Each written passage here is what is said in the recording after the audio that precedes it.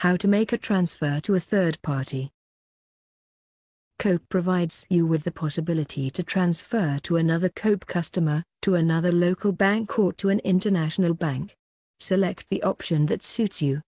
In this case, we demonstrate how to perform and transfer to a local bank.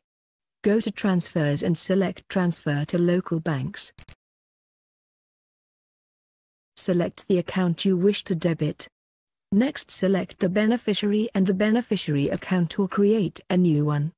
Enter the transaction details and click on Submit to proceed. You will be redirected to the verification screen to confirm the data entered. Click Confirm to complete the transaction. Your transfer to other local bank customer accounts is now complete.